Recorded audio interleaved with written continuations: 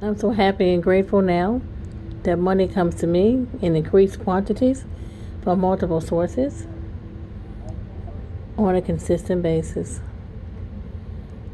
I'm so happy and grateful now that money comes to me in increased quantities from multiple sources on a consistent basis.